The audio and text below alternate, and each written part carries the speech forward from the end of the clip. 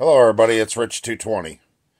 I was going to upload a video from last week from my archives showing that the uh, head was back on the uh, the 283 V8, but the file is too big and there's a risk of um, uh, what do they call that? Copyright strike against my video. Um, but trust me, everything is back together. The car is running. It's up to par.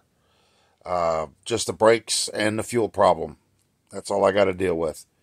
I have to put a couple of studs in the rear wheel on the passenger side brake drum, and then I have to find out what's clogging up the uh, the fuel system, and then figure out as far as the brakes go uh, what's leaking. I'm pretty sure it's the hoses in front, and I think there's something stuck in the line for the fuel. So I got to clean that out. But uh, yeah, I can't upload the video because of a copyright strike. I don't want I don't want this to uh, interfere with the process of me um, posting videos online. So I'll have to do. I don't know what I'm gonna have to edit it. I guess I'm gonna have to knock all that stuff out and just play the the video. That's all I can do.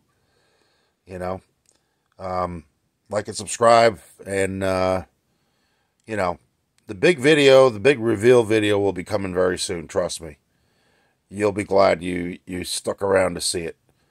All right, all right. We'll see you in the next one, folks. Have a good day. Bye.